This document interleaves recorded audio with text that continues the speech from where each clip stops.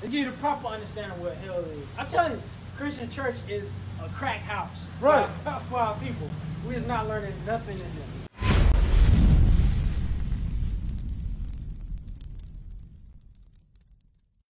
What they do in the Christian church? They go around, pass around a collection plate, right? Is that in the Bible? To do that? Tithes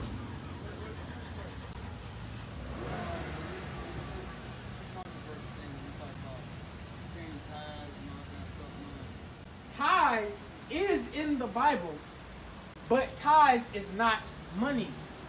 That's the thing. The Christian church, they say, hey, pass the collection plate around and they give 10% of your money, right? Watch this. Read that. Deuteronomy chapter 14, verse 22. Bring it up. Thou shalt truly tithe all the increase of thy seed, Hold on. You should tithe the increase of your what? of thy seed, That didn't say money, right? Hold on. Keep going. that the field bringeth forth year by year. Oh, that the field bring forth year by year. How, do fields grow money? right, that's your crops, right? So you should tithe your crops. Go ahead.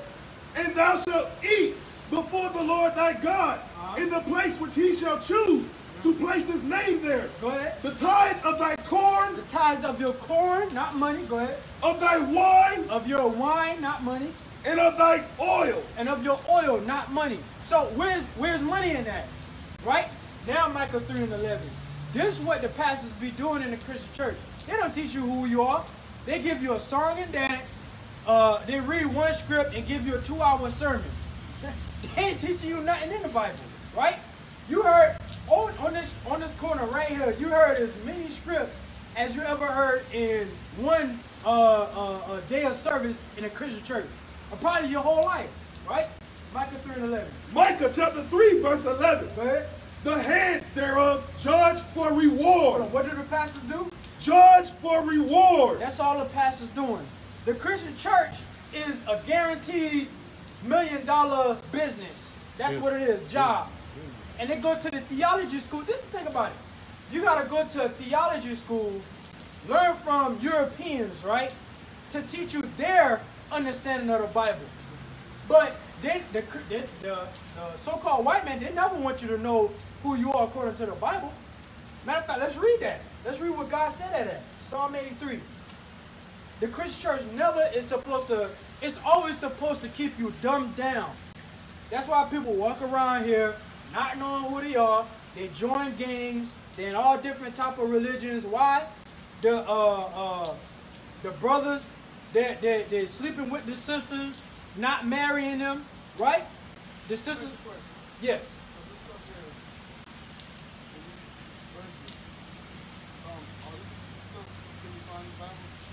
Yeah, we reading it, not the Bible. Yeah, that's, that's what we're reading. Say that again. What passage? They skip over this part. Yes, they do do that. Like go to uh, what's that? What's that? Um, uh, if a man rob God. Malachi 3. Malachi 3, yeah. If a man rob God. Because this is what they're saying in Christian church. When they pass the collection play around for the tithes, which we already established is corns and stuff. It's 8. Watch this. 3 and 8. Watch this. Malachi chapter 3, verse 8. This is your true, this is your, the true understanding of the Bible that you always supposed to be having, right? Go ahead. Will a man rob God? Oh, will a man rob God? Huh? You pass the collection plate round, pl- plate around, right? That's what they say. They go to the scripture, right? But this that's how they twist the scripture. But they never keep reading though. Read. Yet ye have robbed me. So they say you you rob God, right? But ye say, Wherein have we robbed thee? So they tell the people of the church, hi, they, they ask how you rob God and what? In tithes and offerings. See if you don't pay, if you don't give 10% of your money, that's how you rob God in your tithes and offerings. But what is tithes again? Your crops, your corn, right? Go ahead. Yeah, keep reading. Ye are cursed with a curse, Uh-huh. for ye have robbed me, even this whole nation. Right. So that's how they that's the scripture they use to confuse people in giving your money to them, right? But keep reading though. Let's see what God is talking about. Read. Bring ye all the tithes into the storehouse. Hold on, into the what? Into the storehouse. Bring all your crops, your wine, your own, your oil, your corn into the storehouse. Read. That there may be meat, that there may be money, that there may be meat that there may be meat. Go ahead. in mine house. In mine house. Go ahead. And prove me now herewith, saith the Lord of hosts, Go ahead. if I will not open your you the windows of heaven You know what the windows of heaven? That's opening up the rain to come down like you see right now. Right? Go ahead.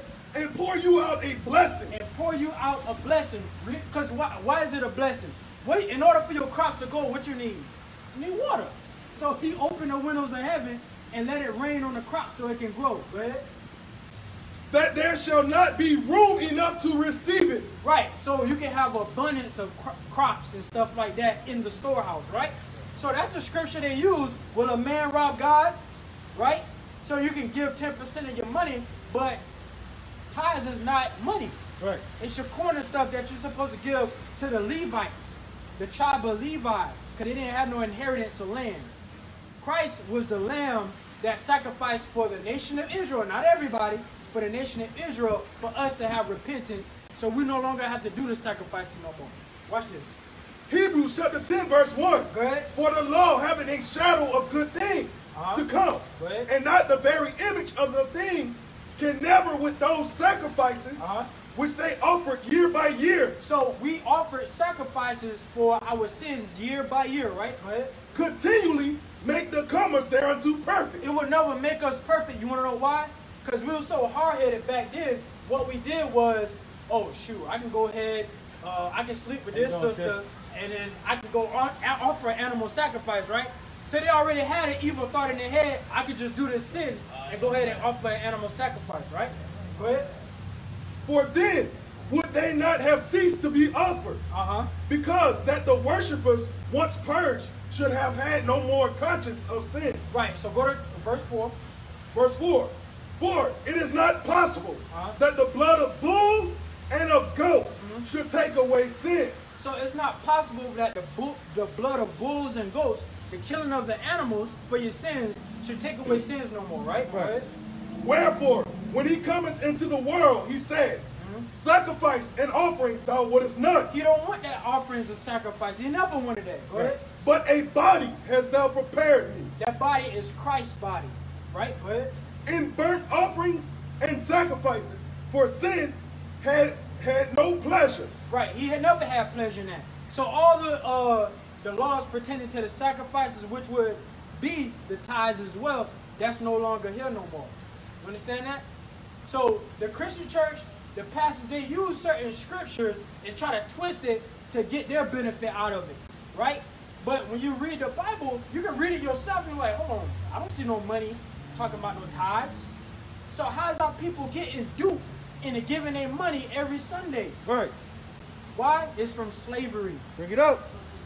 think out of all the, the intelligent people we have here, the doctors and the lawyers and the philosophers and everything, you think the people they know it are in this foreign room where everybody else is going to fit in? So all so your question is, is all these philosophy people and everything like that, are they just following the world? Let me show you something.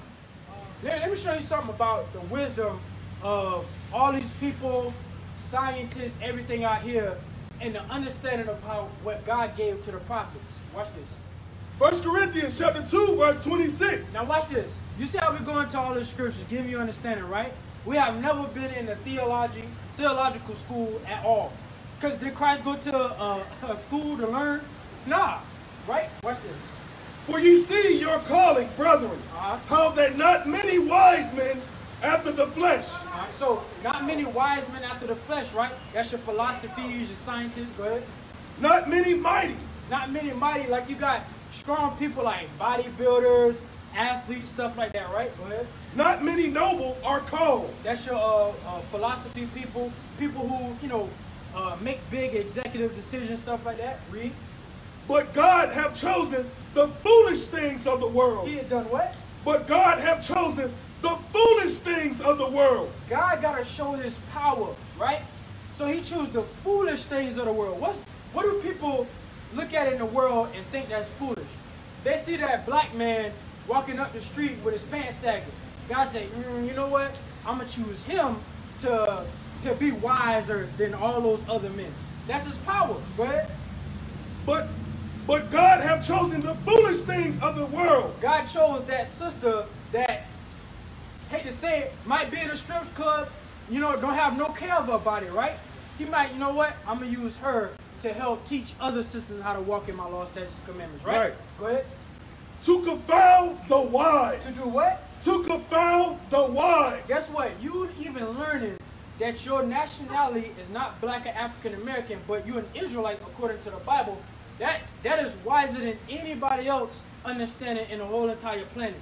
I guarantee you that. Right. Because all our people don't know that they're Israel, right? And why do you think they went so hard? I don't know if you've seen it. Why you think they went so hard on DeSean Jackson and Nick Cannon? They're like, oh no, we can't let these Negroes get that information out. That they're the Israelites, that they're the real Jews, right? So, so the same thing is, there are people right now that, that notice what they are it's a lot of people like that. A lot of people are fearful of what may happen to them, right?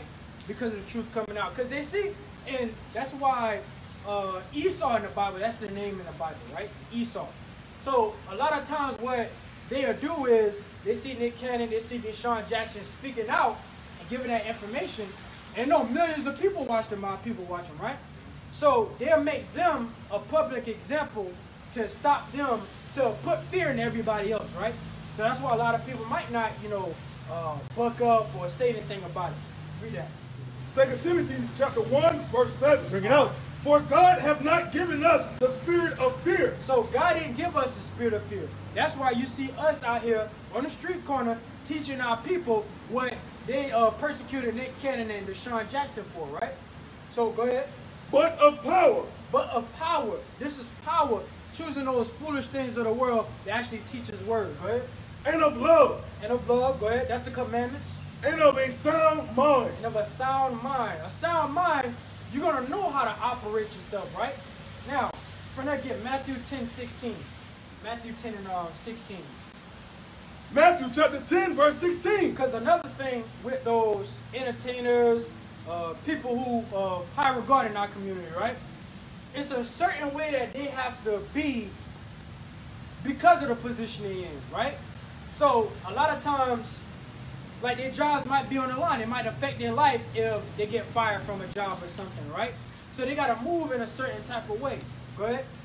Matthew chapter 10, verse 16. Go ahead. Behold, I send you forth as sheep in the midst of wolves. So we the Israelites, we are the sheep. And, and those uh, entertainers and stuff like that, they're in the midst of wolves.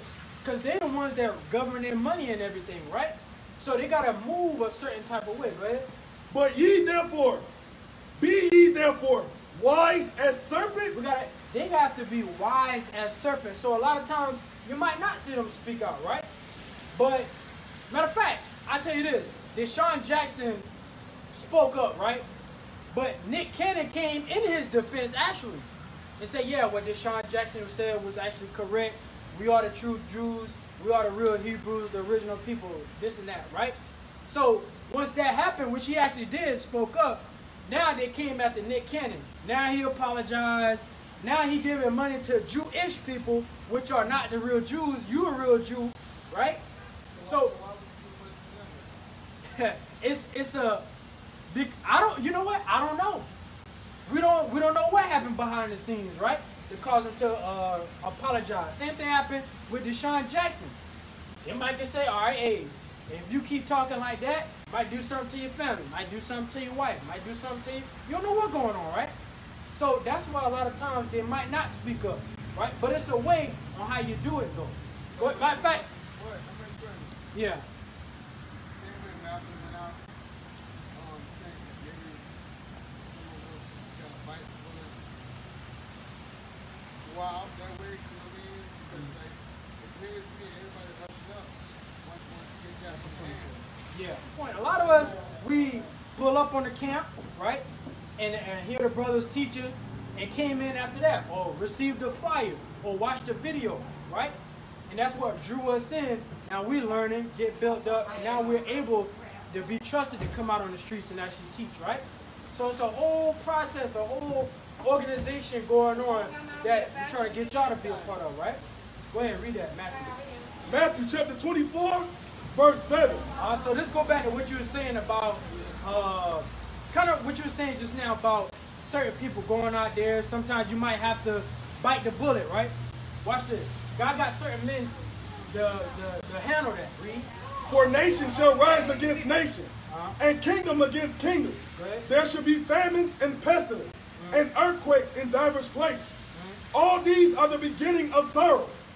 Then shall they deliver you up to be afflicted. Then shall they deliver you up to be afflicted, right? So it says nation against nation, kingdoms against kingdoms, right? That's different wars amongst the nations, right? So that's Bible prophecy that's happening, right? It's going to come to fruition even more, right? So in the middle of that, what are we going to be doing? Teaching the Bible on the street corners like Christ commanded us to do, right? And he said, you should be what? Then shall they deliver you up to be afflicted. So when we doing that, all the nations hate us when we do that. So when we do that, we're going to be delivered up. Go ahead. And shall kill you. And shall what? And shall kill you. Some of us gonna die for it. We're doing the same thing our forefathers did, going out by two by twos, like Christ sent them out, right? And actually teaching the word. Paul, he got beat up for teaching the Bible, right? A lot of our forefathers got stoned to death. There's certain men that he got out on the street corners that's actually teaching the word and might get killed. But guess what? We understand the promises that's gonna come with it. So we ain't got no fearful hearts out here. Right. Right? Go ahead, that's it. And ye shall be hated of all nations for my name's sake. We're going to be hated of all nations for his name's sake. You understand? Let's give you the true understanding of what hell is according to the Bible. Right. Isaiah 3, 3, 314. Bring it up. 14. Let's give you the proper understanding of what hell is. I'm telling you, Christian church is a crack house. for Right. our- For our people. We is not learning nothing in them, right? Isaiah chapter 5, verse 14. Bring it up. 5, 5 verse 13. Therefore, my people are gone into captivity. Now, for you to understand that, I want you to pay attention to certain words, right? Therefore, my people are going into captivity. What is captivity? Another word for it. Jail. Uh, what's another word? Another word for captive People in chains and stuff. Slavery, right? Help y'all out. Slavery. So therefore, my people going into slavery. Remember that. Go ahead. because they have no knowledge, Because we didn't keep the laws. and their honorable men are famished, So like our leaders, supposedly leaders, they're lacking. Go ahead. and their multitude dried up Go with ahead. thirst. Go ahead. Therefore, Same thing. Is the first part, right? Therefore, my people going into slavery. Go ahead. therefore, hell have enlarged herself. Therefore, hell hath enlarged herself. So, what is hell? It said, therefore, in the first part, of fact, read the first top part again. Let's see y'all get it. Let's see y'all get it. Therefore, my people are gone into captivity. Therefore, my people are going into slavery. Now, verse 14.